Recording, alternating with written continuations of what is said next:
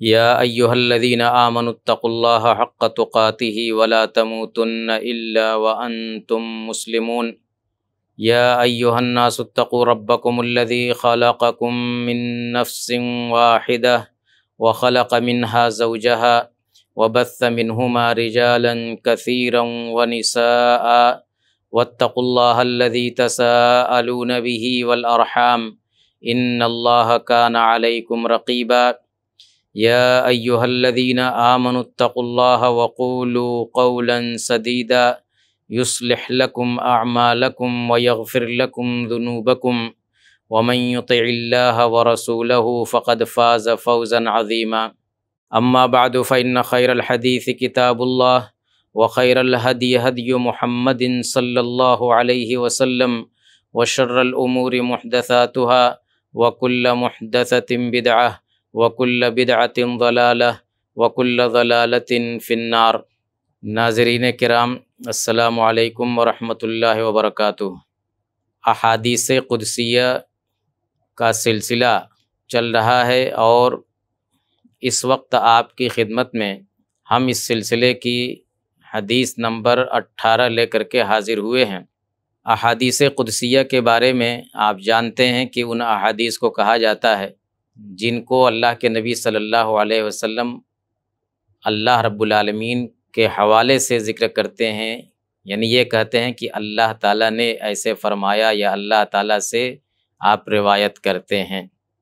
कभी कभी हदीस के बीच में अल्लाह ताला का फरमान होता है, उन हदीसों को भी अहादीस क़ुदसिया ही में शुमार किया जाता है।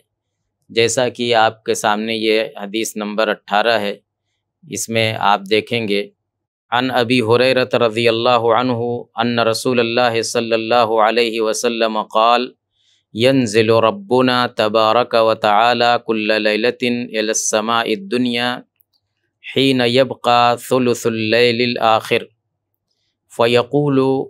यदऊनी फ़अस्तजीब लह व मन यसअलुनी फ़उतियह वमन यस्तगफिरनी फ़ागफ़िर लह मुस्लिम हदीस नंबर सात सौ अट्ठावन। ये हदीस अबू हुरैरा रज़ी अल्लाह तु से मरवी है कि अल्लाह के रसूल सल्लल्लाहु अलैहि वसल्लम ने फरमाया कि यंजिल रब्बुना तबारक व ताला कुल्ला लैलतिन समाए दुनिया। कि अल्लाह तबारक व ताला हमारा रब हर रात समाए दुनिया पर नाजिल होता है। सबसे करीबी आसमान पर नाजिल होता है, उतरता है। उस वक्त जबकि रात का आखिरी तिहाई हिस्सा बाकी रह जाता है तो अल्लाह ताला कहता है, फ़यक़ूलो। यही फ़यक़ूलो, यहीं से यूँ समझिए कि हदीस कुदसी शुरू होती है। फ़यक़ूलो, मन यदूनी फ़स्तजीब अल्लाह ताला उस वक्त बंदों को पुकारता है कहता है कि कौन है जो मुझसे दुआ करे तो मैं उसकी दुआ कबूल करूँ? वमन यसअलुनी फ़तिया और कौन है जो मुझसे सवाल करे तो मैं उसको दूँ? वमन यस्तगफिरनी फ़ागफ़िर और कौन है जो मुझसे मगफ़रत तलब करे, गुनाहों की बख्शिश तलब करे तो मैं उसको माफ़ करूँ? तो नाजरीन, देखिए इस हदीस के अंदर अल्लाह के रसूल सल्लल्लाहु अलैहि वसल्लम फरमाते हैं कि यनजिल रब्बुना तबारक व ताला समाए दुनिया। कि अल्लाह तबारक व ताला हर रात समाए दुनिया पर नज़ुल करता है। ये अल्लाह के बारे में बतलाया गया है इस हदीस के अंदर कि अल्लाह ताला वो तो मुस्तवी है अर्श के ऊपर और अर्रहमान वालशिस्तवा और ये अर्श भी सातवें आसमान के ऊपर है। वहाँ से अल्लाह तबारक व ताला हर रात पहले आसमान पर आता है, बंदों के करीब होता है। इस हदीस के अंदर जो अल्लाह ताला के लिए नज़ुल की सिफत का तस्करा है तो अहल सुन्नत का ये अक़ीदा है, सलफ़ का ये अक़ीदा है कि अल्लाह ताला के लिए जो सिफ़तें कुरान और सुन्नत के अंदर ज़िक्र की गई हैं, हम उन सिफ़तों पर ईमान रखेंगे और उन सिफ़तों की कैफियत के बारे में बहस नहीं करेंगे। यानी अल्लाह ताला कैसे नज़ुल करता है, उसकी क्या कैफियत होती है ये हम अल्लाह के सपुर्द कर देंगे, इस पर बहस नहीं करेंगे, लेकिन इतना मानेंगे कि अल्लाह ताला समाय दुनिया पर नज़ुल फरमाता है और वहाँ से बंदों के करीब हो कर के उनको आवाज़ देता है, उनको पुकारता है। अल्लाह ताला उन पर रहमत की बारिश बरसाना चाहता है। अल्लाह ताला उन्हें अपने अतियात से नवाजना चाहता है। वो आ करके ऐलान करता है कि मैदूनी फ़स्तजीबला कि कौन है जो मुझसे दुआ करे, मैं उसकी दुआ कबूल करूँ? दुआ आप जानते हैं कि इस्लाम में दुआ की कितनी अहमियत है। दुआ एक इबादत है। कुरान के अंदर फरमाया गया है कि वक़ाल रब्बुकुम उदऊनी अस्तजिबलकुम इन्नल्लज़ीन यस्तकबिरून अन इबादती सयदखुलून जहन्नम दाखिरीन। कि तुम्हारे रब ने कहा है कि मुझसे दुआ करो, मैं तुम्हारी दुआ कबूल करूँगा।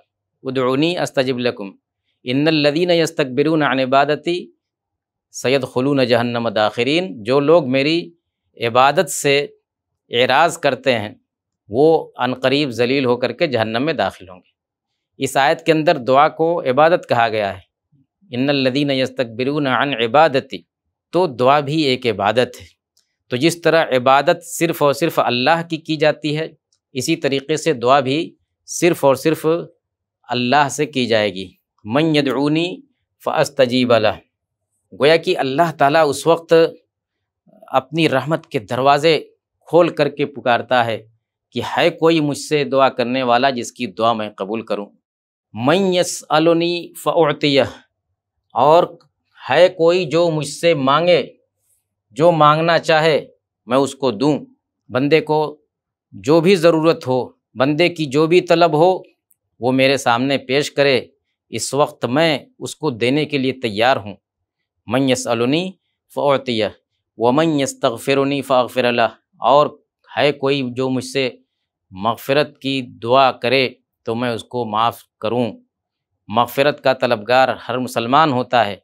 उसके पास गुनाहों का अंबार होता है। और वो हम वक्त कोशा रहता है कि अल्लाह ताला मेरे गुनाह माफ़ करे। तो इस वक्त अल्लाह तबारक व ताली रात के इस आखिरी तिहाई हिस्से में ऐलान करता है कि है कोई जो मुझसे अपने गुनाहों की बख्शिश तलब करे। मैं तैयार हूँ उसको बख्शने के लिए। फ़ाफ़िर अल्लाह, मैं उसको बख्श दूँ। ये हर रात होता है, पूरे साल।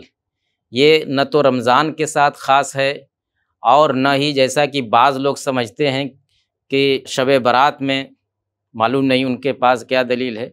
अल्लाह ताला तो हर रात समाय दुनिया पर नजुल करता है, कुल्ल लतिन समाय दुनिया। ये लफ्ज़ बतला रहा है कि इसमें किसी रात की तखसीस नहीं, न रमज़ान की, न गैर रमज़ान की कोई तखसीस नहीं। लेकिन कब, किस वक्त ये नज़ुल होता है? ही नबका सलुसुल्लैल आखिर।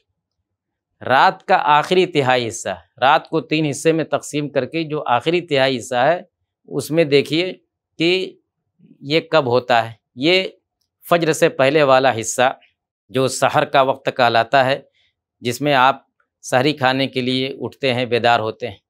रात का ये हिस्सा अल्लाह ताला की इबादत के लिए, नवाफिल के लिए तहजद के लिए, दुआ के लिए ज़िक्र के लिए बहुत ही मुनासिब वक्त है। ये दुआ की कबूलियत का वक्त है, क्योंकि अल्लाह ताला उस वक्त पुकार पुकार करके बंदों को अपनी तरफ़ मायल करता है। इसीलिए कुरान में अल्लाह ताला ने अपने नेक बंदों की तारीफ़ करते हुए फरमाया है कि वबिल असहार हम यस्तफ़िरून कि अल्लाह के नेक बंदे वो हैं जो सहर के वक्त मगफ़रत तलब करते हैं। जो सहर के वक्त, यानी रात के आखिरी हिस्से में, फजर से पहले वाले हिस्से में अल्लाह से मफ़रत तलब करते हैं। और एक जगह फरमाया कि, वल मुस्तफ़री बिल असहार और वो लोग जो सहर के वक्त अल्लाह से मफ़रत तलब करने वाले होते हैं। तो ये वक्त बड़ा ही अहम है एक मोमिन के लिए, एक मुसलमान के लिए, कि उस वक्त वो उठ कर के अल्लाह के सामने रोए, गिड़गिड़ाए, अल्लाह की इबादत करे। इस हदीस के अंदर एक तरह से तहजद और क़यामुल्लैल की तरगीब है, क्योंकि क़यामुल्लैल रात में किसी भी वक्त तहजद की नमाज़ रात में किसी भी वक्त पढ़ी जा सकती है, लेकिन सबसे अफजल वक्त उसका यही रात का आखिरी हिस्सा है। अल्लाह के रसूल सल्लल्लाहु अलैहि वसल्लम इसी हिस्से में तहजद पढ़ते थे ज़्यादातर इसमें गोया कि एक तरह से बंदे को तरगीब दी गई है कि रात के इस आखिरी हिस्से में वो बेदार हो। ततजाफ़ा जुनूबहम अनिलमजाज यदून रबहम खौफ़म व तमा अल्लाह के बंदे जिनके पहलू अलग रहते हैं, उनकी ख्वाबगाहों से, और वो अपने रब से दुआ करते रहते हैं। डर की वजह से भी और उम्मीद की वजह से भी। तो ये नेक बंदों की सिफत है रात के आखिरी हिस्से में बेदार हो करके तहजद पढ़ना, दुआ करना इस्तफ़ार करना, अल्लाह के सामने रोना, गिड़गिड़ाना। तो हमें कोशिश करनी चाहिए कि इस मौके को गनीमत जाने और ये आदत डालें कि रात के इस हिस्से में उठ कर के थोड़ा बहुत वक्त अल्लाह के सामने खड़े होकर के गुजारें, अल्लाह के सामने हाथ फैलाएँ अल्लाह से मांगें, अपने गुनाहों की बख्शिश तलब करें, अपनी ज़रूरतों को उसके सामने पेश करके उनका मुतालबा करें। अल्लाह ताला तो देने के लिए तैयार है, लेकिन लेने वाले अगर हों तब तो। इसलिए नाजरीन, हमें इस हदीस से यही सबक मिलता है कि हर रात आखिरी तिहाई हिस्से को गनीमत समझें और उस वक्त उठ करके अल्लाह के बारगाह में सरबसजूद हों, अल्लाह के सामने हाथ फैलाएँ, अल्लाह से दुआ करें, अल्लाह से मफ़रत तलब करें। अल्लाह ताला हमें इसकी तौफ़ी अता फ़रमाए और हमारी दुआओं को शरफ़ कबूल अता फ़रमाए। हमारे गुनाहों की बख्शिश करे। ये अहादीस क़ुदसिया के सिलसिले की एक कड़ी थी। अब इसके बाद एक दूसरी हदीस आपके सामने पेश की जाएगी। इस हदीस के रावी अबू हुरैर रज़ी अल्लाह तु थे, जैसा कि आपने देखा, और ये भी बारहा आपके सामने तस्करा आ चुका है कि सहाबी रसूल हज़रत अबू हुरैर रज़ी अल्लाह तु सबसे ज़्यादा हदीस की रिवायत करने वाले सहाबी हैं। इनसे ज़्यादा और किसी रावी से हदीसें नहीं मज़कूर हैं, जितने भी दूसरे सहाबा हैं उनसे मरवी रवायतों की तादाद इनसे कम ही है। इसके आगे जो हदीस नंबर 19 हम आपके सामने पेश करने जा रहे हैं, उस हदीस के रावी अबू कतादर रज़ी अल्लाह तु हैं और वो हदीस इब्न माजा की है। अन अबी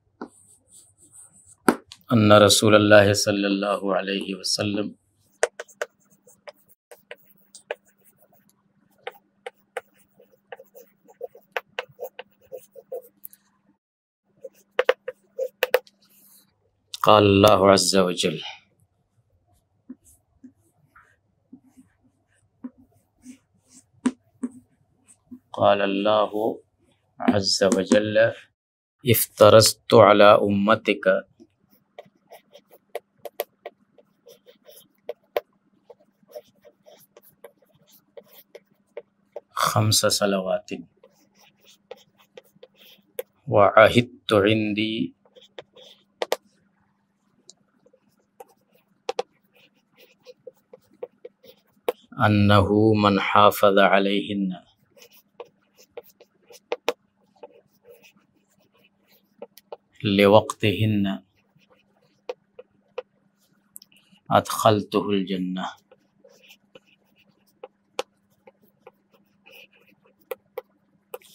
वमन लम युहाफिज अलैहिन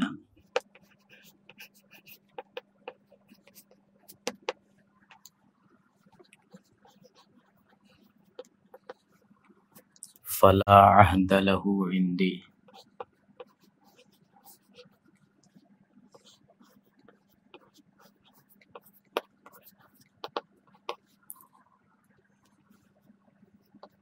इब्ने माजा हदीस नंबर है चौदह सौ तीन। हदीस हसन दर्जे की है। गैर सही है इनकी हदीस पर हुक्म लगाने की ज़रूरत होती है। इसलिए कि बस अवकात हदीस ज़यीब भी हो सकती है।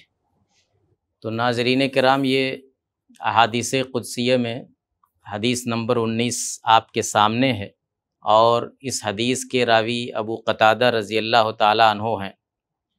अन अबी क़तादत रज़ी अल्लाह अन्न रसूल अल्लाह सल्लल्लाहु अलैहि क़ाल क़ाल अल्लाह अज़्ज़ वजल्ल, इफ़्तरज़्तु अला उम्मतिक खम्स सलवातिन वाहिद इंदी अहदन अन्नहु मन हाफ़ज़ अलैहिन्ना लेवक्त हिन्ना अदखलतुलजन्ना वमल्लम युहाफ़िद अलहिन्ना फ़ला अहदलहू इंदी इब्न माजा, हदीस नंबर एक हज़ार चार सौ तीन, हदीस हसन दर्जे की है।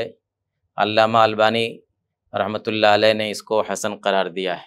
अबू क़तादा रज़ी अल्लाह तहों से रवायत है कि रसूलुल्लाह सल्लल्लाहु अलैहि वसल्लम ने फ़रमाया कि काल अल्लाह अज्जवजल कि अल्लाह अज्जवजल ने फरमाया यही हदीस कुदसी। है कि अल्लाह अज्जवजल ने फरमाया कि इफ़्तरस तो अला उम्मत का खम्स सलावातिन।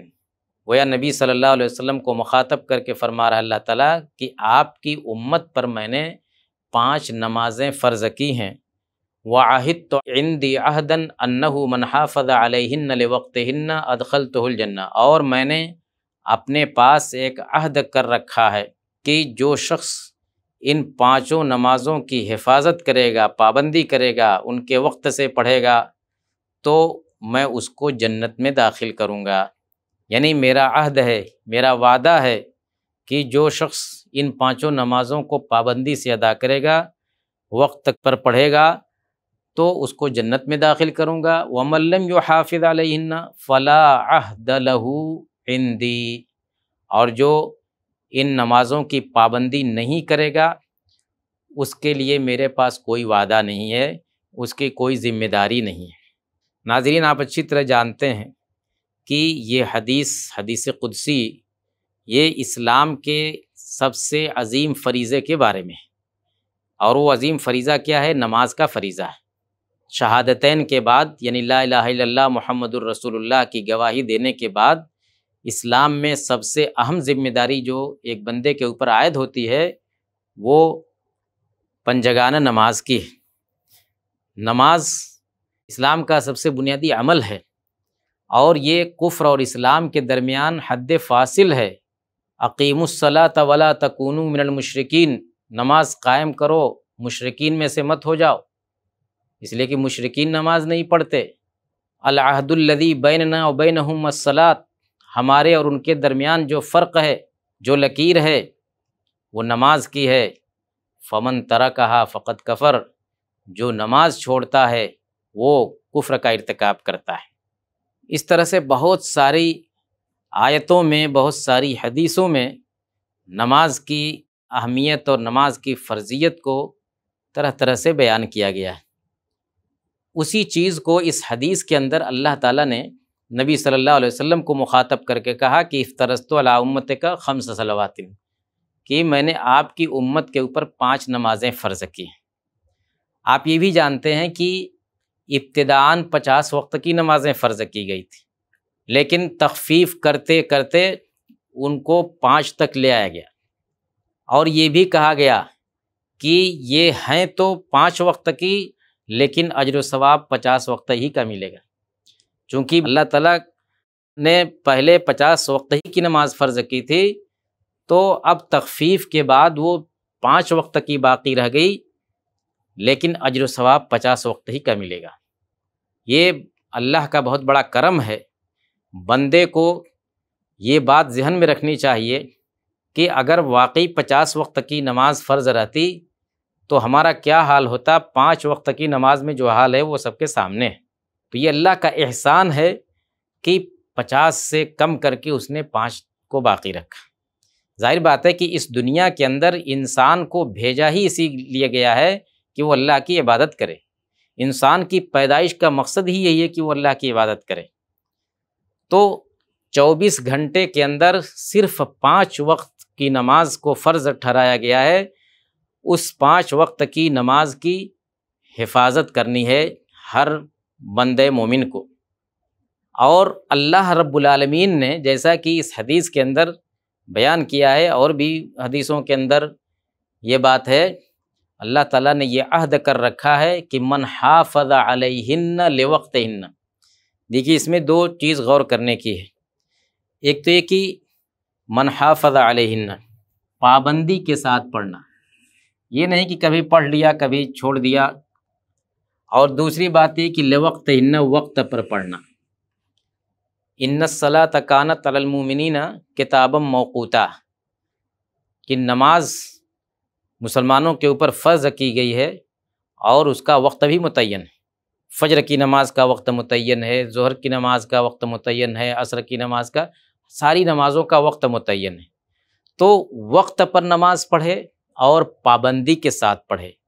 नमाज़ की, हिफाजत नमाज़ की पाबंदी। हर नमाज़ को पूरी पाबंदी के साथ अदा करना, पूरे अरकान शराइत आदाब के साथ वक्त पर अदा करना, ये असल में नमाज़ पढ़ना, नमाज़ अदा करना। जैसा कि इसके पहले आपके सामने ज़िक्र आ चुका है कि कुरान में अकीमुसलात कहा गया है। नमाज़ पढ़ने के लिए सिर्फ़ नहीं कहा गया, बल्कि नमाज़ कायम करने की बात कही गई है। तो नमाज़ कायम करने का मतलब यही होता है कि इंसान नमाज़ के सारे अरकान और आदाब के साथ नमाज़ अदा करे, वक्त पर अदा करे और उसकी खुशु खजू के साथ अदा करे। तो जितनी नमाज़ के लवाजमात हैं, जितने आदाब हैं, सब की पाबंदी करे तो उसको एकामत सलात कहा जाता है। और उसी की तरफ़ इशारा इस हदीस कुदसी के अंदर भी है कि जो भी इन नमाज़ों की पाबंदी करेगा और वक्त पर पढ़ेगा तो अल्लाह ताला गोया उस बंदे के लिए उसने ज़मानत ले रखी है कि मैं उसको जन्नत में दाखिल कर दूँगा। ये इससे बड़ा इनाम एक मोमिन बंदे के लिए क्या हो सकता है कि अल्लाह ताला उसके लिए जन्नत की ज़िम्मेदारी ले ले। जन्नत की ज़िम्मेदारी का मतलब ये हुआ कि जहन्नम से छुटकारा, जहन्नम से आज़ादी मिल गई। यही एक मोमिन का मतमह नज़र होता है, यही एक मोमिन की सबसे बड़ी ख्वाहिश होती है और इसी के लिए एक मोमिन अपनी पूरी ज़िंदगी में तगोदव करता है। तो यह चीज़ नमाज़ की पाबंदी से हासिल होती है। वमल्लम यो हाफिज़ अलहिन्ना, फ़ला अहदलहू आंदी और जो इसकी पाबंदी न करे तो ऐसे शख्स के लिए मेरे पास कोई अहद, कोई वादा, कोई ज़िम्मेदारी नहीं। है ऐसा शख्स उसका अंजाम क्या होगा? ये वही जानता है। या वो खुद गौर करे कि मेरा अमल कैसा है तो मेरा अंजाम क्या होगा? तो नाजरीन, हमें इस बात पर गौर करना चाहिए कि हमें जब अल्लाह ताला ने इस दुनिया के अंदर अपनी इबादत ही के लिए भेजा है तो उसकी इबादत के लिए कुछ वक्त निकालें। कुछ वक्त क्या निकालें?